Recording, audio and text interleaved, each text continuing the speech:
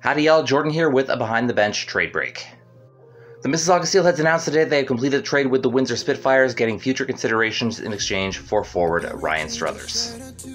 In 31 games for the Steelheads last year, Ryan got one goal and two points in a 93 game OHL career, four goals and 15 points. Ryan, I know it wasn't the easiest for you getting ice time here, but uh, I hope you do know that you're a great guy, and it was great having you around here. All the best of luck in Windsor, man. Hope to see you soon. Have a good one, Ryan. Bye bye. Back it up. Moving it on you, Struds. All that walking for nothing. this is your workout for the week.